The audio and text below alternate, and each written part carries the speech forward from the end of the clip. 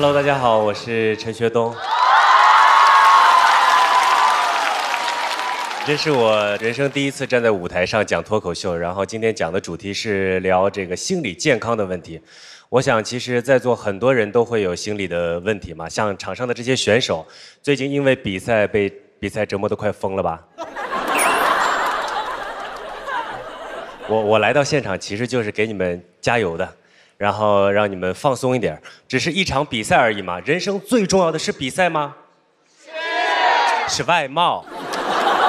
是不是听完以后让你们这些外貌焦虑的人更加雪上加霜了，是吧？看看身边的那些人，长得不如你们的人，如果身边没有的话，那就好好比赛，啊！徐志胜、何广智，加油！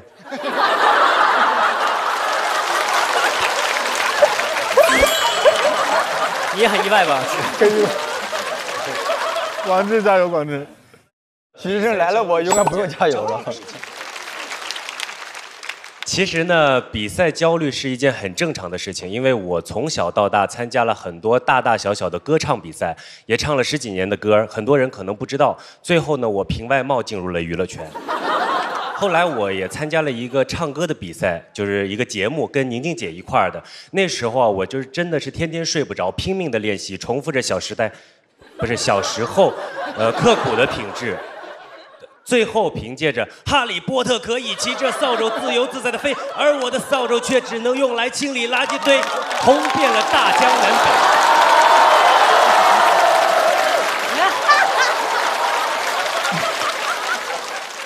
以后啊，谁再说我没有代表作，我就当着他的面再唱一遍，用我的 rap 把他给送走。其实呢，比赛让人焦虑，还有一个是社交媒体也会让人焦虑。我刚刚出道的时候就是比较闲，也比较空，然后晚上的时候会熬夜看网友对我的评论啊。我就是那种很贱的人，你知道吗？明明有好几条特别好的评论在夸我的，我非要看那几十万条在骂我的。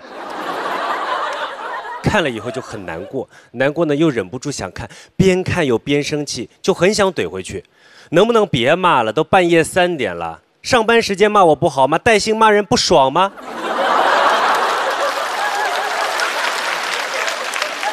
其实每个人心理压力大的时候，都会有自己的一种解压方式。比如说我，我是很喜欢看那种带货直播，你知道吗？解压。然后我很喜欢看那种挺奇怪的带货直播，就是那种自己跟自己吵架，然后自己跟自己砍价，最后把价格砍下来。他们一开始说，啊，原本五十八万，现在我砍到三十八万了，真的不能再低了，不能再低了，宝宝们，你们说可不可以？然后不，啊，什么？八十八，好，那就八十八。小时代周崇光同款耳钉只要八十八，原价五十八万，现在八十八。我肯定不开心的，我跟你说，因为我的同款只要八十八块，我就去后台投诉他们。我说我是陈学冬，你们同款的耳钉是真的吗？有证书吗？有吗？有吗？他说你是陈学冬，你有证书吗？有吗？有吗？我我当然没有，但经典有机奶有证书啊。来了。中国与欧盟有机双认证，虽然跟我没有什么关系，但是说出来莫名有底气。挺好的。好底气来了。了解我的人都知道，我除了 rap 唱的非常的好听，我也有别的爱好，比如说心理学。这个呢，对于解决心理问题真的是有很大的帮助。我现在其实可以通过别人说话，或者说一些形体的方式，我就能知道这个人心里大概有一些什么问题。比如说李诞，你内心一定很忧愁，我劝你少喝一点酒。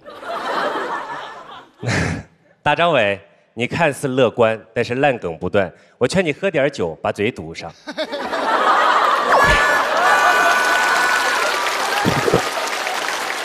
宁静，嗯，静姐怎么可能有问题呢？静姐完美，对，谢谢大家，我是陈学冬。